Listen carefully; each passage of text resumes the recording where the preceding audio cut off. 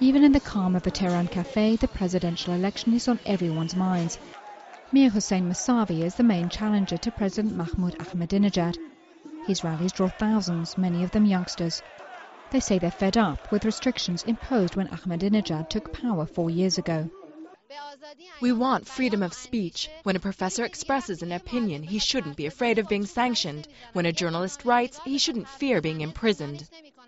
Ahmadinejad's rallies also draw huge crowds. His supporters appreciate his anti-corruption policies and refusal to give up the country's nuclear research program, despite international pressure. For them, it's a question of national pride. He's a courageous, good man. His acts are in keeping with his words. He thinks about other people, about the disenfranchised, not about his own interests. Ahmadinejad's policies are mainly targeted towards the poor, Mousavi's towards the middle and upper class. He's backed by reformers former President Mohammad Khatami, who had huge support from young voters.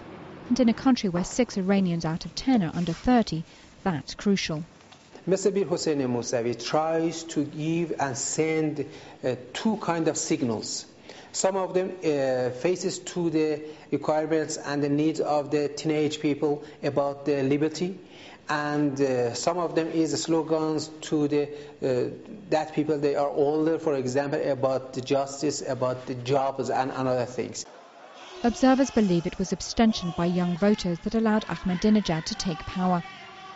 Making sure they get to the ballot box could be key in winning what promises to be a tight race.